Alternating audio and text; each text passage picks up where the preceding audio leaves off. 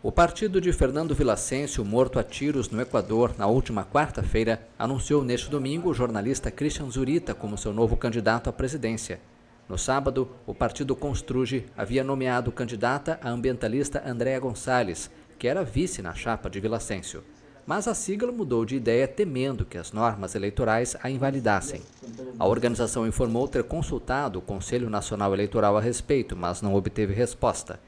Christian Zurita, que apareceu vestindo colete à prova de balas, assim como Andréa Gonçalves, desvendou, juntamente com o amigo Villacencio, o caso de corrupção que resultou na condenação à revelia do ex-presidente Rafael Correia a oito anos de prisão.